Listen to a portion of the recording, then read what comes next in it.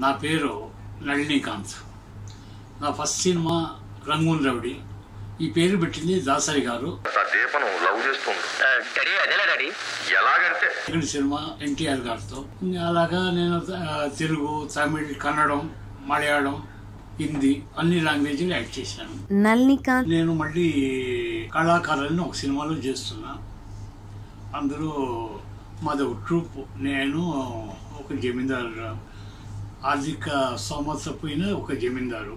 అందులో సుచరిత చాలా బాగా యాక్ట్ చేస్తూ ఉంది. ఆ అమ్మాయి వచ్చి ఒక డ్యూయల్ రోల్ ఒకే క్యారెక్టర్ డ్యూయల్ రోల్ లాగా ఉంటుంది. ఒకటి mad as well as live రెండు ఉంటాయి.